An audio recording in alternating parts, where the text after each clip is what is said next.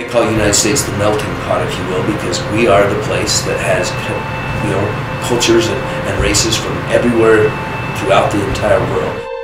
One thing neat, unique about Hunter High School is that we have about 32 different cultures and we have even more languages here that are spoken. I really value race and I value culture and I value ethnicity, but I don't really notice it unless I choose to notice it.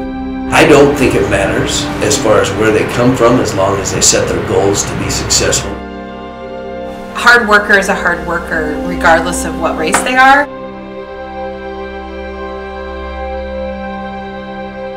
Ignorance and closed-mindedness. We're very afraid sometimes of change, of things that are different. People who really kind of classify that way and are like, oh, you're of a different race, therefore you're this, this, this, and this, that's ignorance. They need to educate themselves and open their mind to the fact that they're not always right. And be humble and willing to accept when maybe you make a mistake or maybe something like that happens because you'll never grow. You'll just be stuck in this stagnant state of ignorance and stupidity, really. We have gangs of every race. That they're, they're, that's what there are. A group of students who um, are of a specific culture decide to, to get together and that's their goal. If you ever get a group together that does something that does something negative, well that's not a positive thing for anybody in our community, nor our school. A lot of people just get so stuck in their way of thinking.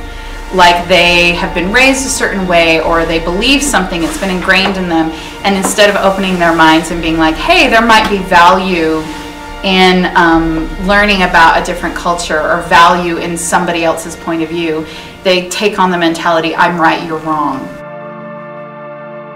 Every student are different in their own way, and it has nothing to do with race and culture. It has to do with more with skill and how we're, the way we are and our body styles are different no matter what race we are. No one is better than anyone else, period. We're all just different.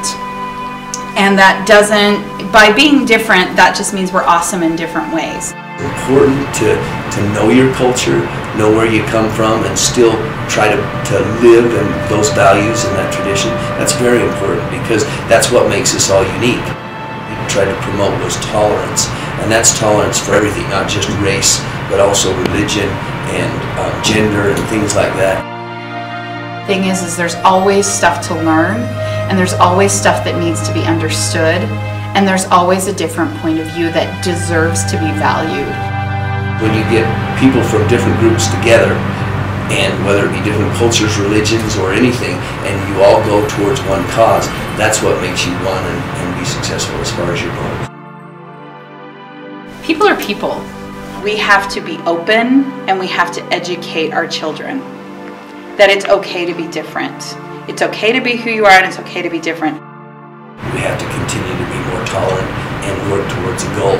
All students at Hunter High School, they come and they realize that we have a, goal to, to reach and it's all a similar goal and then we are all students, we're all Hunter High Wolverines rather than different groups and, and if we can do that and become more of a culture and, and a community, that's going to be the best for us all.